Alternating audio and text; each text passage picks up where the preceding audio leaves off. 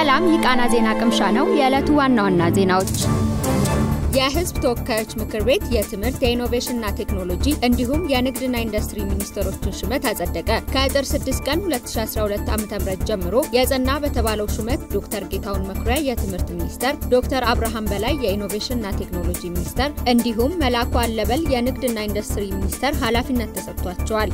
የመንግስት ረዳት ተጠሪ አምባሳደር መስፍን ቸርነት እጩ ተሿሚዎችን ካቀረቡ በኋላ የሹመት ሂደቱ ላይ የምክር ቤቱ የህወሓት አባላት ተቃውሞ አሰምተዋል።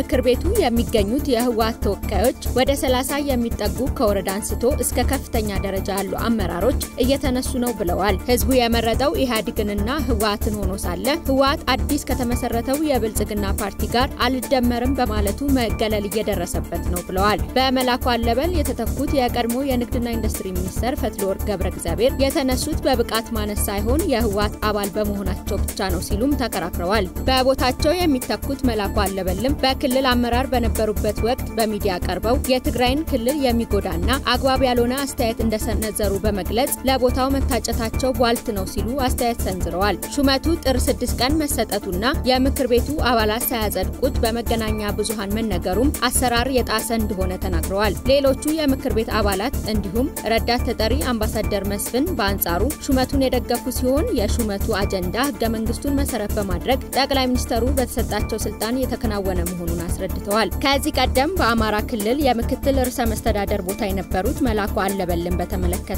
በነበራቸው የስራ ድርሻ ምንም አይነት ከአሰራር ድክመት ጋርም ይሁን ከጥላቻ ጋር በተያያዘ ተገምግመው ቅሬታ የተነሳባቸው ነገር እንደሌለ ተገልጿል። በመጨረሻም ሹመቱ በ17 የህወሓት ተወካዮች ተቃውሞ በአብላጫ ድምፅ ጸድቋል። ከንግድና ኢንዱስትሪ ሚኒስተርነት የተነሱት ፈትለወርቅ ገብረ እግዚአብሔር በትላንትናው ዕለት በምክትል ርዕሰ መስተዳደር ማዕረግ የትግራይ ክልል የፍትህና መልካም አስተዳደር ክላስተር ኃላፊ ሆነው መሾማቸው ይታወሳል። አሁን ዶክተር ጥላዬ ጌቴን የተኩት ዶክተር ጌታሁን መኩሪያ ከዚህ ቀደም የኢኖቬሽንና ቴክኖሎጂ ሚኒስተር ሆነው ያገለገሉ ሲሆን በቀድሞ ቦታቸው የተተኩት ዶክተር አብርሃም በላይ ደግሞ የኢትዮጵያ ኤሌክትሪክ ኃይል ዋና ስራ አስፈጻሚ እንደነበሩ ይታወሳል።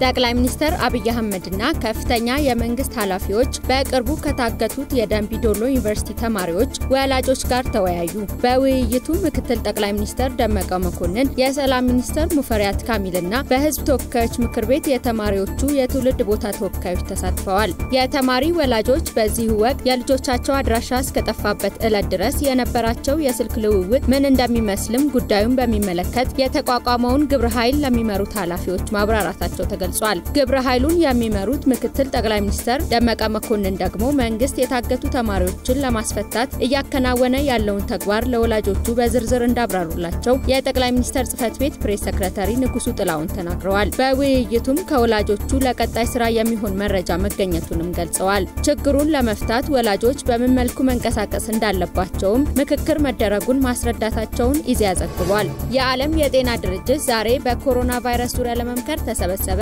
የድርጅቱ ዋና ዳይሬክተር ዶክተር ቴድሮስ አድሃኖም ዓለም አቀፉን የጤና ቁጥጥር አስቸኳይ ጉዳዮች ኮሚቴን ስብሰባ ለመጥራት መወሰናቸውን ትናንት ተናግረዋል። ኮሚቴውም አሁን የተከሰተው የኮሮና ቫይረስ ወረርሽኝ በዓለም ዙሪያ አሳሳቢና የማህበረሰብ ጤና ድንገተኛ ጠንቅ ብሎ ለመፈረጅ ለመምከር እንደሆነ ጠቅሰዋል። ከቻይና ሁዋን ከተማ የተነሳው የኮሮና ቫይረስ በአሁኑ ሰዓት በ15 ሀገራት የተከሰተ ሲሆን በቻይና 7711 ሰው መያዙና 170 ሰው መሞቱ ተረጋግጧል። በዚህ ሳምንት መጀመሪያ በኢትዮጵያ አራት ሰዎች በቫይረሱ ተይዘዋል በሚል ጥርጣሬ መለየታቸው የሚታወስ ሲሆን ወደ ደቡብ አፍሪካ የተላከ የደም ናሙና ምርመራ ውጤት ሰዎቹ ከቫይረሱ ነፃ መሆናቸውን እንዳረጋገጠ ዛሬ የጤና ሚኒስቴር በፌስቡክ ገጹ አስታውቋል።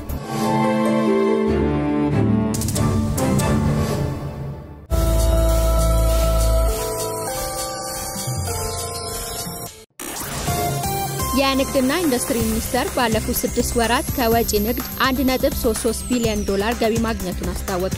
ለማግኘት የታቀደው 1.66 ቢሊዮን ዶላር መሆኑ ተገልጿል። የሚኒስቴሩ የኮሚኒኬሽን ጉዳዮች ዳይሬክተር ወንድሙ ፍላቴ ከፍተኛውን ገቢ ከቡና አበባና ጫት መገኘቱን ገልጸዋል። ከቡና 364.79 ሚሊዮን ዶላር፣ ከጫት 173.75 ሚሊዮን ዶላር እንዲሁም ከአበባ ምርት 225.26 ሚሊዮን ዶላር መገኘቱን ዳይሬክተሩ ገልጸዋል። ወርቅ፣ የቁም እንስሳት፣ ማርና ብረታ ብረት ደግሞ ዝቅተኛ የውጭ ምንዛሬ ያስገኙ ምርቶች መሆናቸውን ዳይሬክተሩ ጠቅሰዋል። በተጨማሪም የቅባት እህሎች፣ የጥራጥሬ ሰብሎች፣ ጨርቃጨርቅና አልባሳትም ገቢ ካስገኙ ምርቶች ውስጥ ተጠቅሰዋል። የወጪ ንግዱን በእቅዱ መሰረት መቶ በመቶ ላለመፈጸሙ ምርት በክምችት መያዝ፣ ከገዙበት ዋጋ በታች መሸጥ፣ የምርት ጥራትና አቅርቦት፣ ህገወጥ ግብይት፣ ኮንትሮባንድና የጸጥታ ችግር ምክንያቶች መሆናቸው ተጠቅሷል።